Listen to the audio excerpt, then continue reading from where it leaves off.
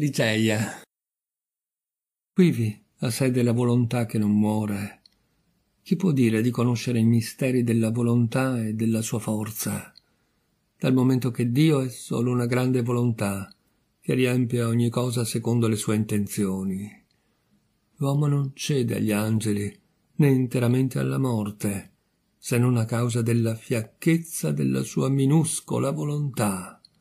Joseph Glenville. Non sono capace, sull'anima mia, di rammentare come, quando e finanche dove io ho incontrata per la prima volta Lady Ligeia. Molti anni son trascorsi da allora e le molte mie sofferenze m'hanno fiaccata la memoria. Ovvero è soltanto ora che io non posso rievocare alla mente quegli istanti da che, per la verità, l'indole della mia amata, la sua eccezionale dottrina, il carattere singolarmente calmo della sua bellezza, la profonda eloquenza, studiosa dei segreti centri dell'emozione, del suo linguaggio sottilmente musicale, conquistarono il mio cuore così furtivamente e insieme così tenacemente ch'io non potevo accorgermene e di fatto non me ne accorsi che molto tempo dopo. Io credo tuttavia d'aver fatta la sua prima conoscenza e d'averla rivista spesso di poi in una grande e antica città che cadeva in rovina sulle sponde del Reno. E non c'era dubbio che io l'abbia udita parlare dei suoi antenati così come anche è indubitabile che si risalissero a un'epoca alquanto remota. Ligeia ligeia seppellito com'io sono nello studio di discipline atte quant'altre mai ad attenuare e svisare le impressioni provenienti dal mondo esterno m'è sufficiente appena pronunciare quella dolce parola ligeia perch'io rappresenti improvvisa agli occhi della fantasia l'immagine di lei che non è più. Ed ora nel mentre che io vergo queste parole ora soltanto ma vedo che non ho mai saputo il nome della famiglia di lei. Di lei che fu mia amica e promessa. Di lei che divenne compagna dei miei studi e sposa infine del mio cuore. Forse solo un capriccio bizzarro ovvero il desiderio di mettere alla prova l'amor mio suggerì a ligeia di proibirmi qualsiasi indagine su questo punto o piuttosto il capriccio fu mio. Fu un'offerta romanticamente disperata sull'altare della più appassionata devozione.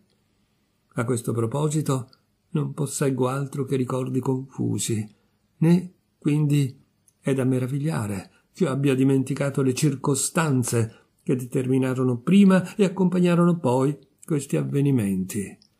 Così ch'io sono indotto a credere che se mai lo spirito romantico il pallido Astofet dall'ali nebbiose, venerato nell'Egitto idolatra, presiedette, come costume credere, ai matrimoni nati sotto l'influenza d'una stella maligna, egli ha presieduto, non v'è dubbio, al mio. E non di meno va un caro soggetto sul quale la mia memoria non può fallire, ed è la persona di Ligeia. Essa era alta, snella e negli ultimi giorni anche un po' emaciata. Invano io tenterai di ritrarre la maestà, la tranquilla naturalezza dei suoi modi, la misteriosa elasticità e leggerezza del suo incedere. Andava e veniva come un'ombra. Io non m'accorgevo del suo ingresso nel mio studio altro che dalla musica intima e dolce della sua voce e dal contatto sulla mia spalla della sua marmorea mano. Io non ho mai visto un volto di giovane donna che l'eguagliasse in bellezza. Essa sembrava irraggiare da un sogno piaceo, come un'aerea visione altamente spirituale, una visione assai più stranamente celestiale che non quelle dei sogni che volteggiano nelle anime sopite delle fanciulle di Delos. E non di meno, i suoi lineamenti non erano plasmati secondo quel modello regolare che ci è stato ipocritamente appreso a venerare nelle classiche opere dei pagani. Non può esistere una bellezza squisita, dice Bacon, Lord Verulam, discorrendo con molta acutezza di tutte le forme e di tutti i tipi di belle donne, che sia sprovveduta d'una cotale stravaganza nelle proporzioni. Quantunque io non mi nascondessi che i lineamenti di Liseia non erano propriamente di una classica regolarità, sebbene io avvertissi che la sua bellezza era veramente squisita e che la stravaganza vi aveva non poca parte, ho poi sempre pensato a rintracciare quella irregolarità e ad individuare le mie stesse capacità di percepire lo stravagante. Io esaminavo così il contorno della fronte alta e pallida. Esso era veramente perfetto, ma quanto è fredda tale espressione, ove si riferisce a tanta divina maestà. Io esaminavo il suo incarnato rivale dell'avorio più puro, e la imponente ampiezza e calma, la leggiadra prominenza delle parti al di sopra delle tempie, e poi la capellatura d'un nero corvino, lustra, abbondante, naturalmente ondulata, la quale testimoniava tutta la forza e la grandezza dell'espressione omerica Jacinthe Chiom.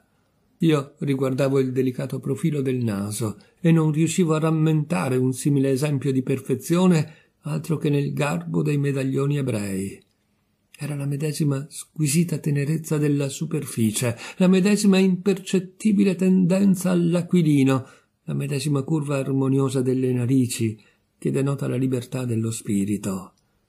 Io riguardavo la sua dolce bocca, là dove era il reale trionfo di tutte le cose celestiali, l'armonioso incurvarsi del labbro superiore, piccoletto, il soffice e voluttuoso riposo di quello inferiore, il gioco ai lati delle fossette e dello spirante colore, i denti che rimandavano ogni raggio della luce benedetta che incontravano, nei loro sorrisi tranquilli e sereni, ma pur sempre trionfalmente radiosi. Io osservavo la conformazione del mento, ed ancor lì trovavo la grazia e la leggiadria, la dolcezza e la maestà, la pienezza e la spiritualità degli antichi modelli greci. Quel contorno che il divo Apollo rivelò a Cleomene sognante, a Cleomene, figlio dell'Ateniese. E poi io mi perdevo nei grandi occhi di Ligeia. Per quegli occhi non v'è modello alcuno che basti a darne l'immagine pur nelle più remote età ed è probabile che proprio negli occhi della mia adorata si celasse il mistero di cui dice Lord Verulam. Essi erano, come conviene ch'io creda, assai più grandi che non gli occhi comuni della nostra razza, ed essi erano anche più pieni dei più leggiadri occhi di gazzella che abiti la tribù nella vallata di Nurjad. E tuttavia soltanto in alcuni istanti, quando essa sembrava animarsi più intensamente, Tale particolarità si poteva notare in Ligeia. La sua bellezza in tali momenti era, ovvero appariva alla mia accesa immaginazione, la bellezza d'un essere superiore o comunque superumano, la fiabesca bellezza delle ori turche. Il nero più fondo e lucido le brillava nelle pupille difese da lunghissime ciglia ricurve, nere ancoresse. Le sopracciglia, nere, erano caratterizzate da un disegno lievemente irregolare, e tuttavia la stravaganza che io riconoscevo a quegli occhi non dipendeva in nulla dalla loro forma o dal loro colore, ovvero dalla loro vivacità. Essa era piuttosto da attribuirsi alla loro espressione. Ah, parole, ahimè, senza significato, dietro cui si difende, dietro la loro ampiezza di mero e vacuo suono, la nostra ignoranza delle cose dello spirito. L'espressione degli occhi di Liseia quanto non mi ha fatto meditare. Quante volte durante intere notti estive io non mi sono invano sforzato di penetrarne il senso. Che cosa dunque poteva essere questo alcunché? Assai più fondo che non il pozzo di Democrito, vivido, giacente in fondo alle pupille della mia adorata. Che cos'era? Io ero posseduto dalla passione di scoprirlo. Quegli occhi, quelle larghe, quelle lustre, quelle divine pupille. Esse erano divenute per me le stelle gemelle di Leda, ed io il loro fervente astrologo. Non v'era certo alcuna fra le innumerevoli anomalie e incomprensibili della psicologia, la quale offra un interesse maggiore allo scienziato se non quella, che io non credo tuttavia sia mai stata notata nelle scuole, per la quale, nonostante gli sforzi che noi operiamo per richiamare alla mente un oggetto da lungo tempo obliato, perveniamo sovente al limite del ricordo senza tuttavia riuscire a ricordare. E così, infinite volte, nella mia estenuante analisi degli occhi di Ligeia, io mi sono trovato al punto d'avere disvelato per intero il segreto della loro espressione. Ho avuto sentore d'essere prossimo alla sua conoscenza, non ancora mia, per poi soltanto vederla di nuovo lontanare. E ancora, e questo è vero, sorpassa in stravaganza tutti gli altri segreti impenetrati. Io ho trovata negli oggetti più comuni di questo mondo una serie di analogie con quella espressione. Voglio dire che, posteriormente al periodo nel quale la bellezza di Ligeia fu trasfusa nel mio spirito e vebbe dimora come in un reliquiario, io attinsi presso numerosi esseri del mondo materiale un sentimento in tutto simile a quello che io nutrivo in me vicino alle grandi e lustre pupille. E però non mi sento meno incapace di definire quel sentimento, d'analizzarlo, ovvero anche di afferrarlo per intero. M'accadeva talvolta di riconoscerlo alla vista d'un rampicante rigoglioso, a quella d'una falena o d'una farfalla o d'una crisalide, ovvero a quella d'un corso d'acqua corrente. Io l'ho sentito alla vista dell'oceano, e a quella d'una meteora precipite. L'ho avvertito nello sguardo di persone insolitamente longeve, e vi sono ancora nel firmamento due o tre astri, e più particolarmente uno di sesta grandezza, duplice e mutevole, che si trova accosto alla grande stella della Lira, i quali, contemplati attraverso il telescopio, m'hanno ispirato quel sentimento. E ne fui anche invaso dal suono di alcuni strumenti a corda e frequentemente da taluni passaggi dei poeti e dei prosatori da me preferiti. Ricordo tra gli innumeri esempi alcune frasi d'un volume di Joseph Glenville, le quali, forse solo a motivo della loro bizzarria, chi può dirlo, non ha mai mancato di ispirarmelo. Quivi ha sede la volontà che non muore. Chi può dire di conoscere i misteri della volontà e della sua forza? Dal momento che Dio è solo una grande volontà che riempie ogni cosa secondo le sue intenzioni. L'uomo non cede agli angeli, né interamente alla morte, se non a causa della fiacchezza della sua minuscola volontà. La riflessione non di meno e gli anni m'hanno avviato a rintracciare un nesso, per quanto escogitato, fra quel passaggio del filosofo inglese e una zona del carattere di Ligeia. Una singolare intensità dei pensieri, delle azioni e delle parole era il risultato in lei, o almeno l'indizio, di quella potentissima volontà, la quale durante le nostre prolungate relazioni non fornì tuttavia altre e più positive attestazioni della sua esistenza. Fra tutte le donne da me conosciute, Ligeia sempre serena e apparentemente calma, fu la più tormentata dai violenti e tumultuanti avvoltoi della crudele passione. E quella passione io non potevo misurarla altro che alla miracolosa espressione di quegli occhi che mi smagavano e a un tempo m'atterrivano, alla melodia incantatrice, alla modulazione, alla limpidità, alla serenità della sua voce profonda, alla energica fierezza, cui il contrasto che metteva nel porgerle raddoppiava l'effetto delle stranissime parole di cui conosceva il segreto. Ho detto della sapienza di Ligeia e sarà immensa, tale che io non ne ho mai riconosciuta la simile in una donna. Delle lingue morte ella aveva una conoscenza profonda e scaltrita, e per ciò che riguardava le lingue vive d'Europa, delle quali io pure avevo una vasta conoscenza, dirò che non m'è mai accaduto di poterla cogliere in fallo. Ma infine, o forse io mai colta in fallo Ligeia, a proposito di uno qualsiasi degli argomenti di quell'accademica e vanagloriosa erudizione tanto esaltata, perché ritenuta la più astrusa.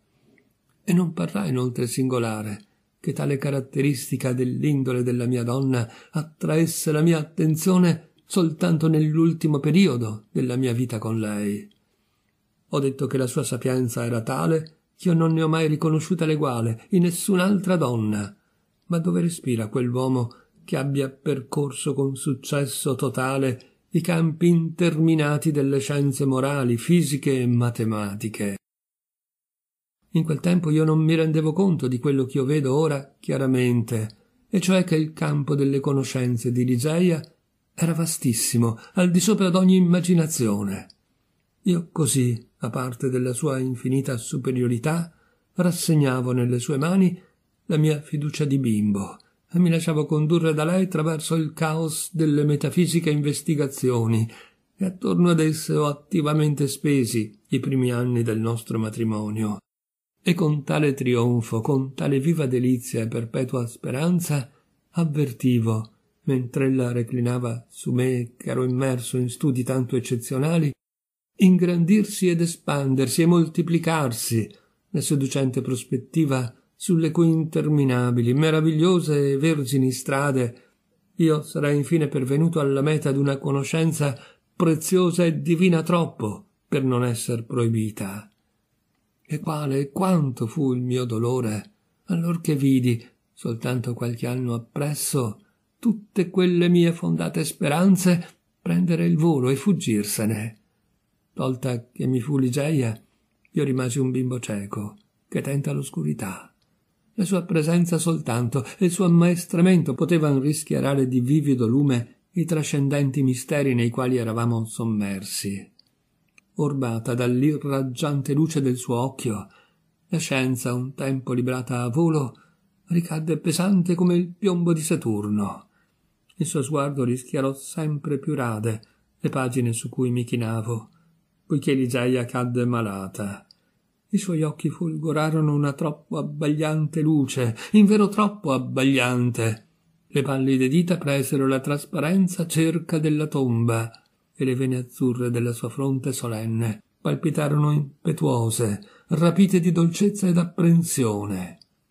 Ma vidi così ch'essa doveva morire e lottai disperato nell'animo mio contro il cupo Azrael e i suoi sforzi d'appassionata sposa furono, con mia meraviglia, anche più disperati dei miei. Per la gravità della sua indole, io pensavo che la morte l'avrebbe colta senza il suo corteggio di terrori. Eppure non fu così. Le parole sono impotenti a descrivere la fierezza della resistenza che la dispiegò nella sua lotta con l'ombra. Io gemevo angosciato al pietoso spettacolo Avrei voluto calmarla e ragionare seco lei, ma nell'intensità del suo sfrenato anelito alla vita, a null'altro che alla vita ogni raziocinante intervento per consolarla apparve al culmine della follia.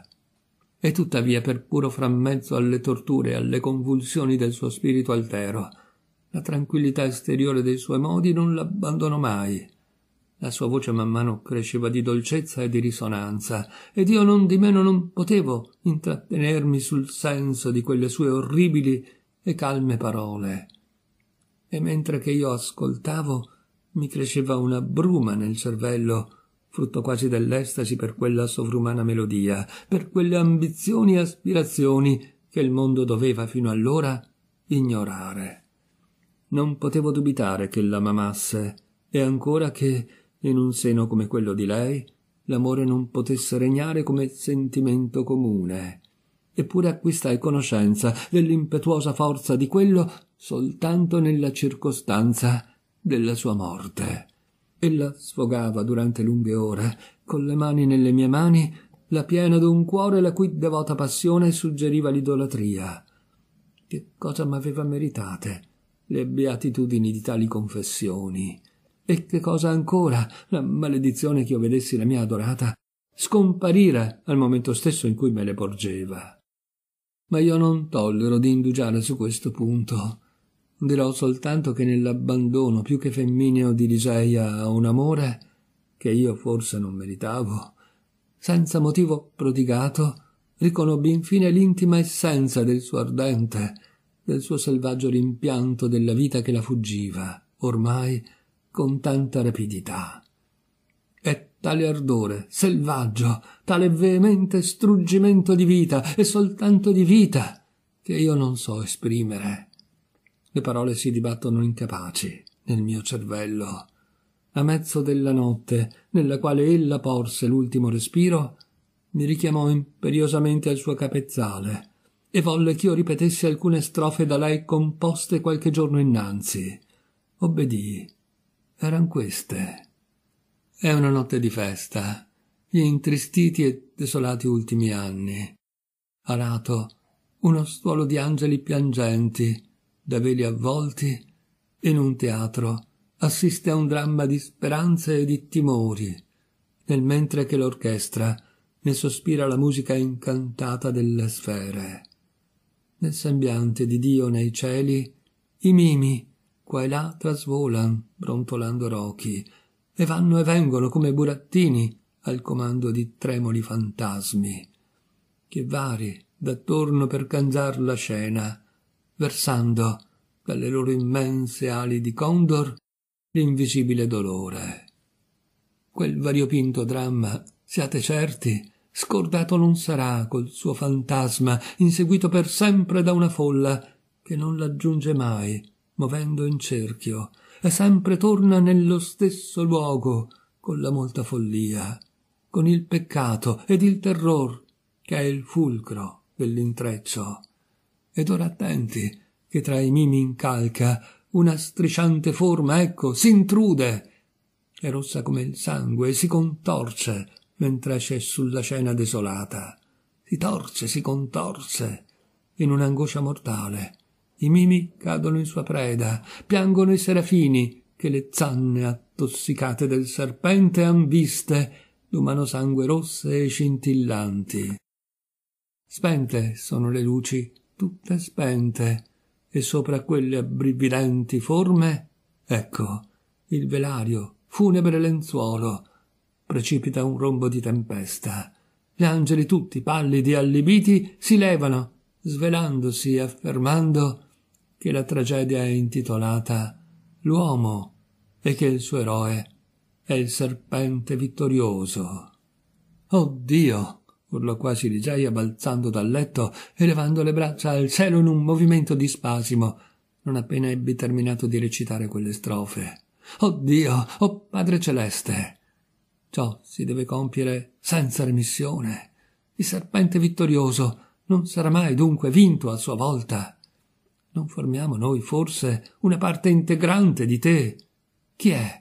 Chi è che sa i segreti e la potenza della volontà? L'uomo non cede agli angeli, né interamente alla morte, se non a causa della fiacchezza della sua minuscola volontà. E allora, spossata da quella nuova eccitazione, ella abbandonò le bianche braccia e solennemente fece ritorno al suo letto di morte. E nel mentre gli ultimi spiriti le passavano il labbro, io udii mescolarsi loro un rumore indistinto. Tesi allora sottilmente intento l'orecchio e udii ancora una volta le parole di Glenville. L'uomo non cede agli angeli, né interamente alla morte, se non a causa della fiacchezza della sua minuscola volontà. Essa era morta, ed io, devastato dal dolore, non potei più a lungo sopportare l'abbandono e la desolazione della mia dimora in quell'antica città che cadeva in rovina sulle sponde del Reno. Io non avevo bisogno di ciò che al mondo ha nome di ricchezza. Eligeia me ne aveva portata molta maggiore che non solitamente il destino accorda ai mortali. In tale modo, dopo che fu scorso alcun mese di noiati vagabondaggi e peregrinazioni senza meta, entrai in possesso e restaurai un'antica abbazia, nella quale non di meno tacerò il nome ed il sito, che sorgeva in una delle più incolte e abbandonate regioni della bella Albione. la cupa e malinconica vastità dell'edificio, il selvaggio aspetto del suo fondo all'intorno, le venerabili e tristi memorie che erano legate al luogo, tutto insomma parve accordarsi al sentimento di completo abbandono che mi aveva condotto in quella remota e disabitata regione.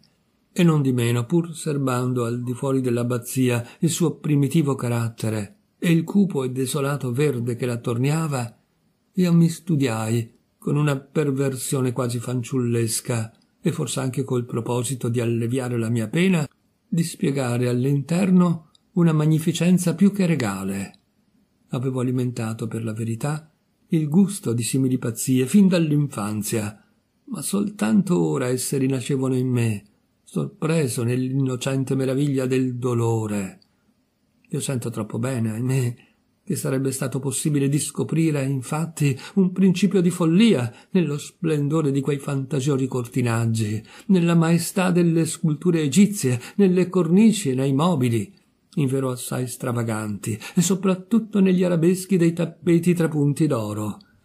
Ero divenuto schiavo dell'oppio che mi teneva incatenato ai suoi ordini e tutti i miei lavori e le mie commissioni assumevano il colore dei miei sogni ma non inducerò a descrivere nei minimi particolari tali assurdità. Mi fermerò soltanto su quella camera, maledetta nell'eternità, nella quale in un istante di smarrimento della ragione, dopo l'indimenticabile e indimenticata Ligeia, io condussi sposa Lady Rowena Trovenia of Tremaine, dalla bionda chioma e dagli occhi azzurri. Non v'è particolare architettonico o decorativo di quella camera nuziale io non abbia presente agli occhi della memoria. Che cosa poteva aver mai al posto del cuore l'intera famiglia della sposa allorché, spinta dalla sete dell'oro, accettò che una fanciulla tanto teneramente amata oltrepassasse la soglia d'una stanza tanto stranamente costrutta e adorna. Ho già detto che ne rammentavo i particolari più minuti, sebbene io perda spesso la memoria anche a proposito d'argomenti della massima importanza. E non di meno in quella fantasiosa ricchezza non v'era alcun ordine prestabilito, ovvero alcun sistema che guidasse e potesse imporsi alle facoltà della memoria. La stanza era molto grande ed era tagliata secondo una forma di pentagono. Essa era relegata nell'alta torre d'una estrema ala dell'abbazia e fortificata come uno spalto. Tutto il lato meridionale del Pentagono era occupato da un'unica finestra, un immenso cristallo veneziano fuso in un unico pezzo ed un color grigio simile a quello del piombo, il quale filtrava i raggi del sole e della luna in modo tale che inondassero gli oggetti della stanza di lugubri riflessi. Al di sopra dell'enorme finestra una vecchia vite fuoriusciva in un intricato viluppo dall'esterno delle mura della torre, per finire d'arrampicarsi all'interno. Il soffitto di quercia era d'un lugubre color nero ed altissimo, costruito a volta e bizzarramente arabescato in uno stile gotico per metà e druidico per l'altra. Dal centro della volta pendeva, a mezzo di un'aurea catena di larghi anelli, un enorme incensiere, aureo anch'esso e capricciosamente traforato secondo un disegno di stile saraceno, entro il quale s'attorcigliava il vivo serpe d'una perpetua fiamma iridata. Divani e candelabri d'oro, di foggia orientale, erano sparsi qua e là, e al centro il letto, un letto nuziale in stile indiano, basso, d'ebono massiccio, ornato di sculture e sormontato da un baldacchino simile a un pallio funebre.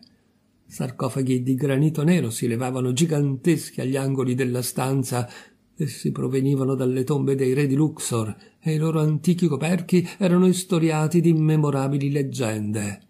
E non di meno, la maggior libertà di fantasia era spiegata, ahimè, nei cortinaggi che pendevano torno torno alle pareti.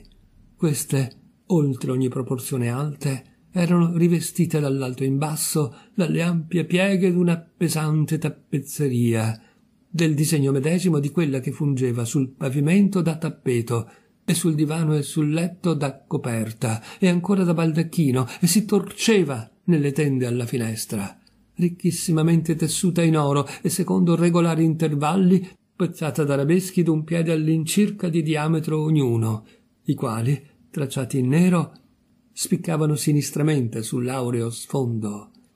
E quelle figure, non di meno, si riconoscevano per arabeschi solo se guardati da un angolo particolare a mezzo d'un processo divenuto ormai del tutto banale e di cui si trovano le tracce nelle antichità più remote, quegli arabeschi erano in guisa tracciati che mutassero a vista d'aspetto. Essi, così, a chi entrava nella camera, parevano semplici figure di mostri, ma avanzando, quella caratteristica si trasformava man mano, e cambiando posizione nella stanza si poteva vedere attorno una ininterrotta processione di quelle terrificanti immagini la cui invenzione risale alle superstizioni dei normanni, ovvero ai sogni irriverenti delle comunità monastiche. Codesto effetto era notevolmente accresciuto da una forte corrente d'aria, introdotta per artificio dietro alla stoffa, la quale conferiva a quel popolo di forme stravaganti una paurosa e inquietante animazione.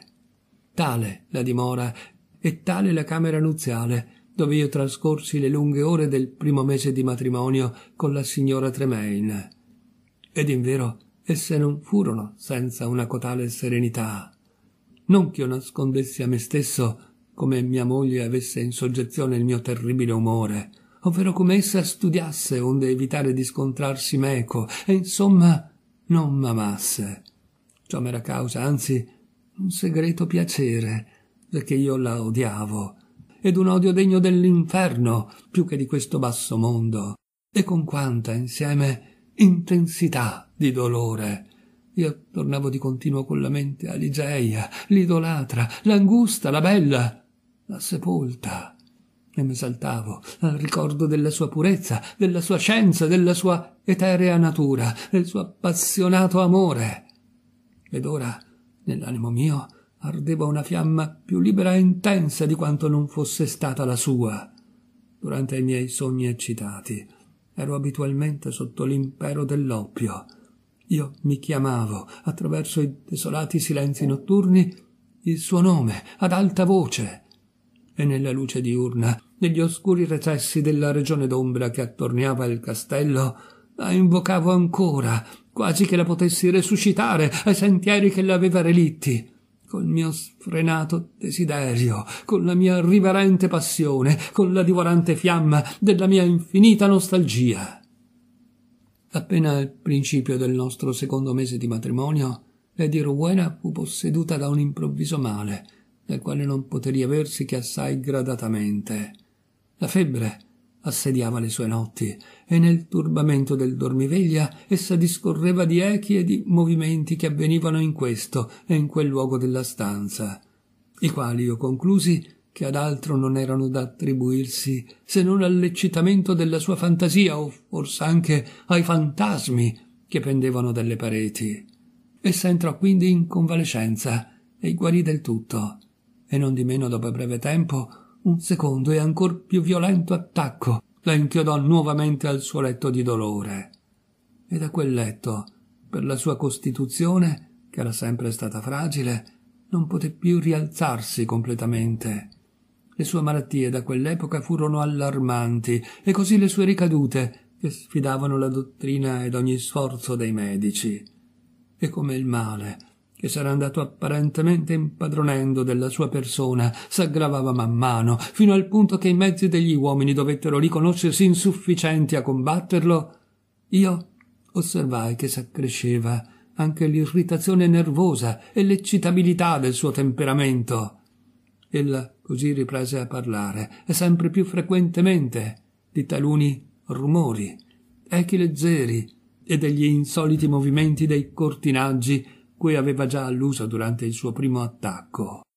Una notte degli ultimi giorni di settembre ella attirò con maggiore energia che l'usato la mia attenzione su questo soggetto. S'era desta proprio allora da un sonno inquieto, nel mentre che io, a metà diviso tra l'ansia e un vago terrore, spiavo i movimenti del suo volto scavato. Io sedevo su uno dei divani indiani accanto al letto d'ebano. Ella si alzò di sul letto a mezzo il busto e con un ansimante balbettio parlò di alcuni suoni che aveva uditi, ma che io non potevo udire, e di alcuni movimenti che aveva veduti ma che io non potevo vedere.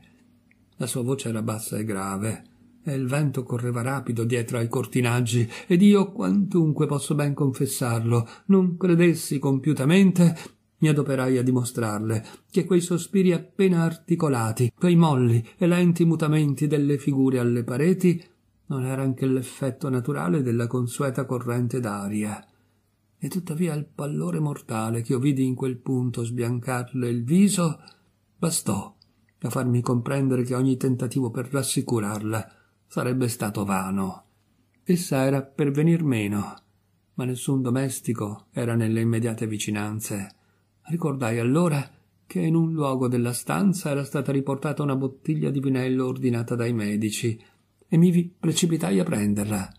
Ma nel mentre che passavo sotto alla luce dell'incensiere, la mia attenzione fu distratta da due circostanze straordinarie avevo sentito che un qualche cosa di palpabile, anche se invisibile, era trascorso leggermente accosto alla mia persona, e vidi sul tappeto d'oro, in mezzo al riflesso proiettato dall'incensiere, un'ombra, una debole e indefinita ombra d'angelico aspetto, la quale avrebbe potuto più propriamente dirsi un'ombra di un'ombra.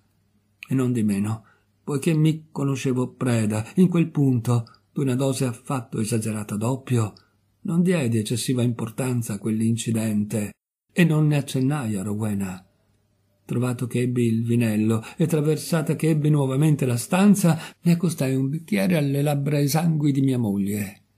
Ella, che s'era nel frattempo riavuta, aveva preso il bicchiere con le mani, per modo che io potei lasciarmi cadere sul divano, senza pertanto stornare gli occhi da lei. Fu in quell'istante che udii ben distinto un leggero struscio di passi sul tappeto vicino al letto e un attimo dopo vidi, seppure non ho soltanto sognato di vederlo, nel bicchiere che Rowena accostava alle labbra, come da un'invisibile sorgiva sospesa a mezz'aria nella stanza cadere tre o quattro gocciole d'un liquido brillante color del rubino.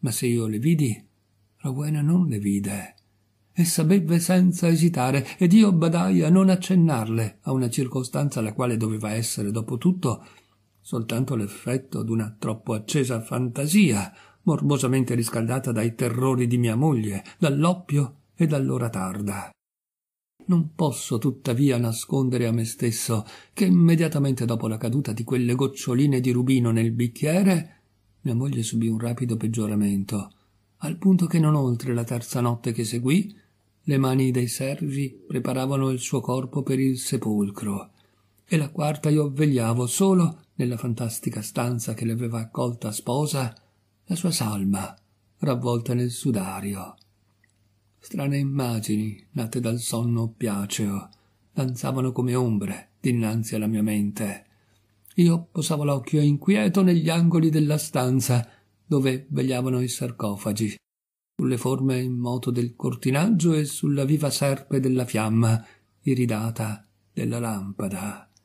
Ed in seguito, come io richiamai alla memoria le circostanze d'un'altra notte, il mio occhio cadde nel luogo, al di sotto del riflesso dell'incensiere, dove avevo visto le tracce sbiadite dell'ombra. Ma l'ombra non c'era più, ed io levai gli occhi, quasi respirando con maggiore libertà, sulla bianca, immota figura del letto. E allora mille memorie di Lady Ligeia m'affollarono la mente e col violento tumulto d'una cateratta squarciata affluì al mio cuore la piena dell'ineffabile dolore con il quale avevo contemplata lei ravvolta per sempre nel suo lenzuolo di morte. E intanto la notte avanzava, e mentre il mio cuore traboccava dei più struggenti e amari pensieri, dei quali ella, il mio unico e supremo amore era l'oggetto, io restavo con lo sguardo affissato al cadavere di Lady Rowena. Era forse scoccata la mezzanotte, un po' prima forse, o un po' dopo. Non avevo posto orecchio al batter dell'ora. Un singhiozzo in quella, basso e lieve, ma pur chiaro, mi tolse improvviso ai miei fantasmi. Io sentii che sovveniva dal letto d'ebano dove abitava la morte, e tesi l'orecchio in preda a un'agonia di superstizioso terrore. e non di meno il suono non si ripeté. Forzai gli occhi a discoprire un moto qualsiasi del cadavere, ma non riuscii a veder nulla, e tuttavia non era possibile che io fossi caduto in un inganno.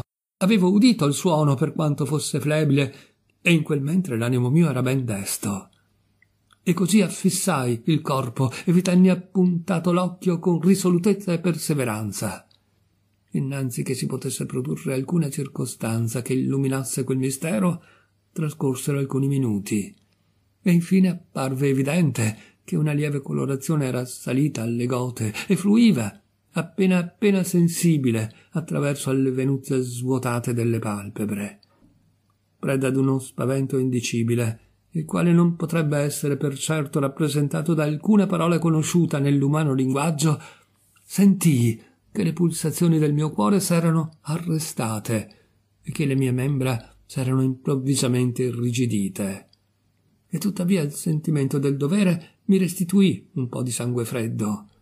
Non potevo dubitare, più a lungo ormai, che i nostri preparativi per la tomba erano stati prematuri. Lady Rowena era ancora viva. Compresi come fosse necessario tentare subito qualcosa, e non di meno la torre era talmente isolata da quella parte dell'abbazia che era abitata dai servi che nessuno fra di essi poteva udire il suono della mia voce ed io non potevo chiamarli senza abbandonare per un certo tempo la stanza. Né a questo sapevo risolvermi, e così tentai da solo di richiamare alla vita quell'anima ancora aspirante. Fu evidente, tuttavia, dopo brevi istanti, una nuova recrudescenza. Il colore disparve dalle gote e dalle palpebre, lasciandovi un biancore più freddo del marmo. Le labbra si serrarono di nuovo e di nuovo le mascelle si strinsero nella morsa spettrale della morte. Rapido si propagò il gelo, viscido e ripugnante su tutta la superficie di quel corpo, e subentrò la rigidità cadaverica. Io mi lasciai cadere, rabbrividendo sul divano, dal quale ero stato sì stranamente rimosso, e m'abbandonai ancora a fantasticare appassionatamente di Liseia. Trascorse un'ora e allo scoccar di quella, e come poteva tuttavia essere possibile, io ebbi per la seconda volta la percezione che un rumore indistinto venisse dalla parte del letto. Ascoltai, atterrito, fin tanto che il suono non si ripeté ancora una volta. Era un sospiro. Io m'avventai sul cadavere e vidi, oh, vidi ben chiaramente, un tremore alle labbra e un attimo appresso esse si dischiusero e scopersero la chiostra brillante dei denti. E così la meraviglia prese a lottare col terrore che aveva fino allora albergato nell'animo mio, ed io mi sentii annebbiare in un punto la vista e la ragione, e soltanto con uno sforzo feroce pervenni a rimettermi all'opera che il dovere imponeva. Un incarnato debole e limitato ad alcune parti del volto, come la fronte, le gote e la gola, era apparso insieme a un lieve, ma pur sensibile tepore, ravvivare quella spoglia, ed io intesi anche una leggera pulsazione del cuore. Mia moglie era viva.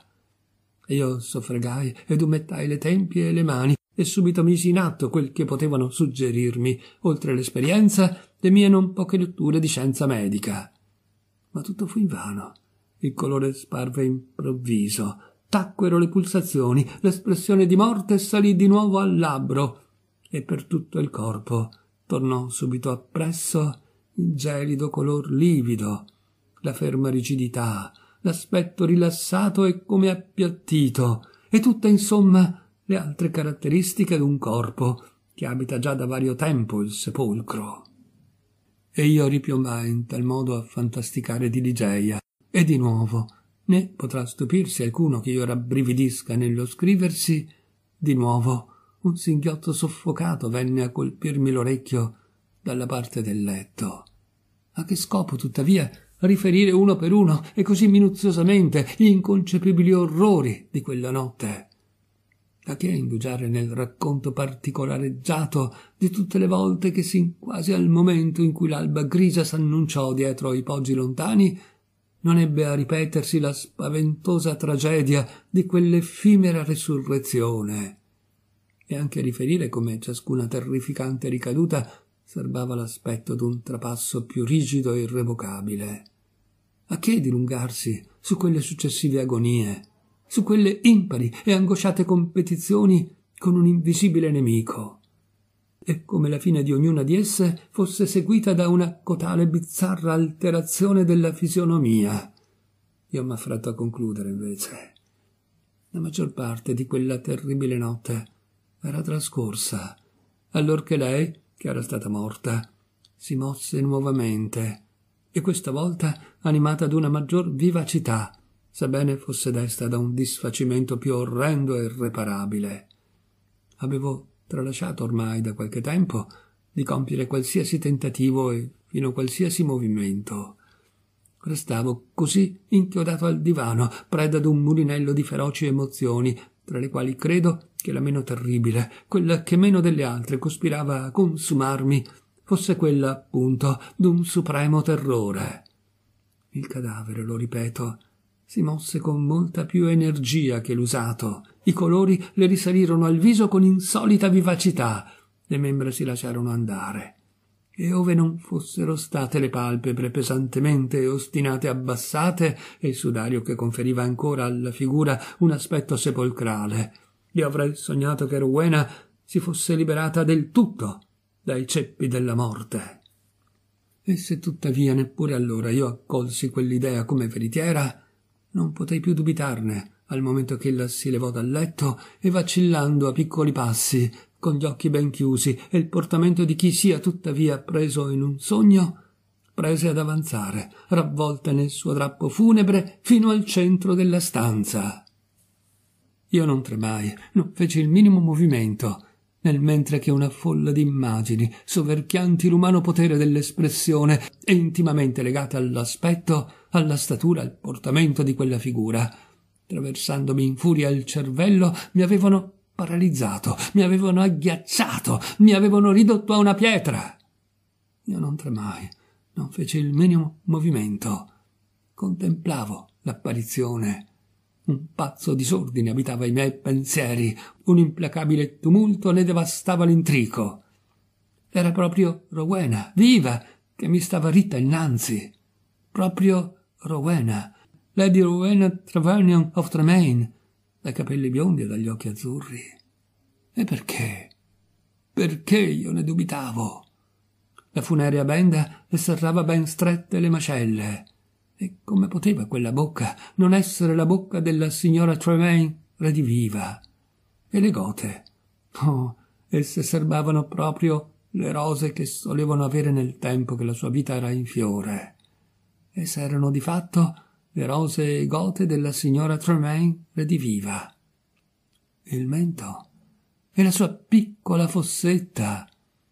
Perché non poteva essere il suo di quando essa era viva? Ma era dunque diventata più alta nel corso della sua malattia. E quale follia che io non riesco ad esprimere, non si impadronì di me a quell'idea. Io ero già ai suoi piedi, come ritraendoli dal mio contatto, essa lasciò che il lugubre lenzuolo che l'avvolgeva le cadesse dal capo.